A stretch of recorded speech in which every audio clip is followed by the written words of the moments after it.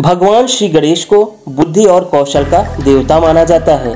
उनकी आराधना का अर्थ है विद्या, विवेक, बुद्धि और प्रसिद्धि को सहजता से प्राप्त करना। शिव पुराण के मुताबिक भाद्रपद मास के कृष्ण पक्ष की चतुर्थी को मंगल मूर्ति भगवान श्री गणेश जी का जन्म हुआ था। अपने माता पिता की परिक्रमा लगाने के कारण शिव पार्वती ने उन्हें विश्व में सर्वप्रथम पूजे जाने का वरदान दिया। तभी से भारत में श्री गणेश की पूजा आराधना का प्रचलन है। आज बात गणेश चतुर्थी से जुड़े कुछ रोचक तथ्यों की। क्या आप जानते हैं महान मराठा शासक छत्रपति शिवाजी महाराज ने गणेश उत्सव को राष्ट्रीयता एवं संस्कृत से जोड़कर एक नई शुरुआत की थी? क्या आप जानते हैं गणेश महोत्सव का भारत की स्वतंत्रता से भी गहरा नाता है? क्या आप जानते हैं लोकमान बाल गंगाधर तिलक ने अठारह सौ तिरानबे में पुणे में पहली बार सार्वजनिक रूप से गणेशोत्सव की शुरुआत की थी।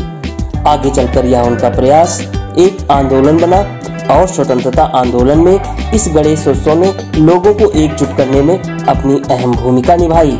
क्या आप जानते हैं, श्री गणेश सिर्फ़ हिंदुओं और भारत में ही नहीं पूजे जाते, बल्कि विश्व में कई जगहों पर श्री गणेश प्रमुख आराध्य देव हैं। जापान में भगवान गणपत के 250 मंदिर हैं।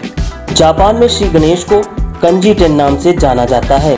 वे वहाँ सौभाग्य और खुशियों के लाने वाले देवता हैं। ऑक्सफोर्ड में छपे एक पेपर के अनुसार श्री गणेश प्राचीन समय में सेंट्रल एशिया और विश्व की अन्य जगहों पर पूजे जाते थे।